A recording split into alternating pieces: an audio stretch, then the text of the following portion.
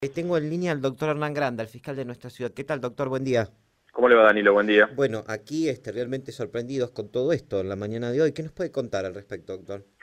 Nosotros veníamos trabajando junto con la UFI 1 en la detección de la gente que vendía droga y de hecho nosotros lo que hacemos en este tipo de cuestiones es brindarle apoyo, iniciar la causa generalmente y, y después dar información de cómo va, de lo que podemos acopiar nosotros en las causas nuestras o lo que no nos enteramos. Y así fue en esta causa, básicamente.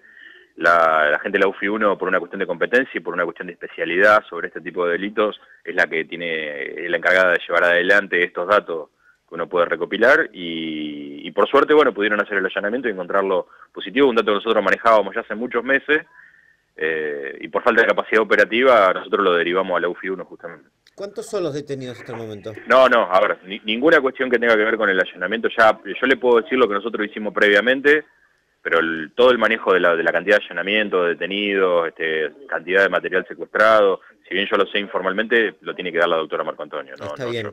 Eh, pero digo, ella confirma esta mañana un detenido. ¿Usted tenía esa misma información? Sí. Sí, sí, que es la persona que tiene el negocio, ya saben, digamos, la persona que se tiene identificada, obviamente. Sí, sí, ya dio el nombre y el apellido esta mañana temprano cuando abrimos el programa.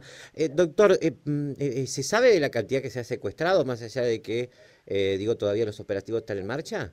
Mire, yo hablé con la doctora Marco Antonio, ella me informó que tenían dos ladrillos de marihuana, aproximadamente 500 gramos de cocaína y bastante más cocaína fraccionada como para comercializar. ¿Se habla de dos kilos, puede ser? Y si usted suma, sí, más o menos, porque marihuana, si usted cada ladrillo pesa más o menos un kilo, yo le diría que un poco más también. Dos kilos de infracción debe ser, y, incluyendo que la cocaína, por, por, su, por su cantidad de dosis y todo, es mucho más importante encontrar 500 gramos de cocaína que dos kilos de marihuana. Claro. Este, es mucho más, este, desde el punto de vista fraccionable, digamos, mucho más importante en cantidad de dosis. Ella mencionó el domicilio de mm, el dueño de este comercio, el comercio y otro domicilio más. Eh, sí, son tres objetivos, sí, sí. Ajá. Eh, ¿Usted cree que esto puede llegar a extenderse también a, otros domicilios, a futuros allanamientos? Lo va a manejar la doctora Marco Antonio. Eh, yo inclusive le aporté algunos datos más relacionados a esta cuestión. Claro, por eso digo, porque ustedes, o sea, ya tienen una investigación previa a esto. nosotros la investigación previa se la remitimos a la UFI 1 hace aproximadamente unos cinco meses, seis meses atrás. Y ellos empezaron a trabajar con su gente sobre estos datos que el problema de fondo, el problema íncito que nosotros tenemos acá en Varadero es con quién trabajarlo específicamente. Ellos tienen resuelto eso. Nosotros no tenemos... Tienen la división narcotráfico, tienen policía federal, etcétera. Y tienen, no, y además tienen personal de la fiscalía, hombres con un perfil eh, acostumbrado a lidiar con este tipo de cuestiones, que pueden hacer trabajo encubierto, pueden fingir ser compradores, cuestiones que nosotros no podemos hacer. Imagínense, yo voy a, a un lugar donde venden droga y finjo comprar y a los 10 minutos me dicen el fiscal se droga este, es el, logro que podemos tener. Y mis funcionarios también. Ellos tienen una, una capacidad interna dentro del Poder Judicial, que tienen seis funcionarios específicos para esto y, que saben hacer muy bien el trabajo. Entonces, ese es el motivo por el cual ellos llevan las causas que tienen un, desarrollo de investigación complejo. Este, y bueno, eh, queremos, queremos, digamos, en su momento esto lo charlamos también con la intendenta y entendimos que la mejor solución al tema de la droga era esta, esta ecuación, digamos, que, nosotros detectemos, tomemos denuncias, las remitamos y, las trabaje la UFI 1 que, tiene mayor capacidad operativa para esto. Doctor, ¿usted cree que el negocio se usaba como pantalla?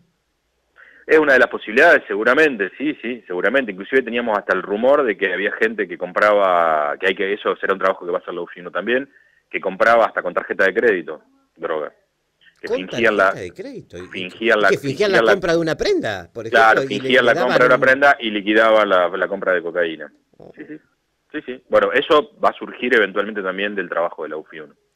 ¿Sabes si se secuestraron eh, algunos otros elementos? Digo, bueno, por, por ejemplo, lo de las tarjetas ya, los tickets, qué sé yo, cuadernos, anotaciones, celulares. Le, repito, todo lo que tenga que ver con el allanamiento de la diligencia lo maneja eh, exclusivamente la doctora Marco Antonio, por eso yo no le puedo dar más datos. Le pregunté las cantidades porque sí me interesaba saber qué tan positivo era y es realmente muy, muy importante el, hallazgo. Pero el resto de las cosas no. No, no, no porque no lo conozco inclusive, lo maneja ella.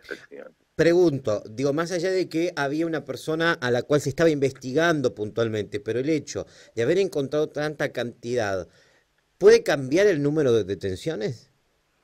Sí, puede ser, puede ser que de esto lleve a detectar otra, otra, otra gente vinculada a esta cuestión. Eh, lo que nosotros detectamos en su momento era que esta persona no solamente hacía una venta minorista, sino que también abastecía deliveries.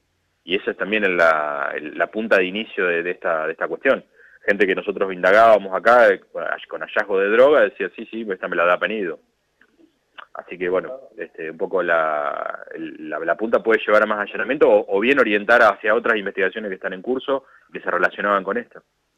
Doctor, por último, eh, ¿tiene conocimiento si la fiscal finalmente va a brindar una conferencia de prensa? Creo que sí, porque inclusive le ofrecimos las instalaciones acá de la fiscalía para, para que estuvieran más cómodos y pudieran trabajar, inclusive haciendo base para tomar alguna declaración o lo que fuere. Así que yo creo que sí, pero eso eh, también depende de ella. ¿Se llevaron a alguien a, tomar declaración? No, no, aún no. están las instalaciones acá disponibles para que ella las use si, si las necesita, obviamente. Le dejo un abrazo, gracias como siempre. ¿eh? Listo, Danilo, no, por favor. Eh, le quiero aclarar que el trabajo, esto que usted me pregunta a mí, pero esto también involucra el trabajo del doctor Gómez también, ¿no es, sí, sí, por supuesto. no, no, se lo aclaro porque por ahí queda como que... Mm, y, también, y también tenía conocimiento que hubo algunos datos que había aportado la policía de, de Paradero con, con, en virtud a estos casos.